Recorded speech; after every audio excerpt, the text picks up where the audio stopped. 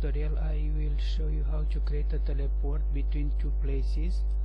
I have uh, last uh, Christmas Day Festivity 2021 place and uh, new one name it Christmas Forest places. This uh, place can be created in from uh, game settings into places. You need to press create button and uh, set um, these uh, settings for your place. And name max players server fill allow copying and save. After you create uh, the secondary place you need in uh, the first place to add um, part. Name it teleport part with a script. You can see uh, the script. Each uh, place has uh, a place ID this can see with copy ID to clipboard and paste into script. Um, in the Christmas Day festivity 2021 uh, place I add the place ID for Christmas Forest.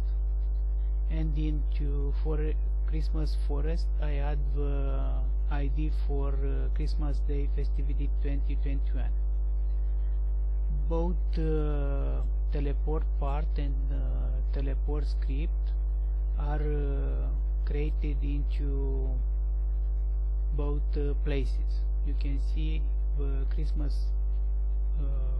forest has teleport part and teleport uh, script. You need to run uh, this uh,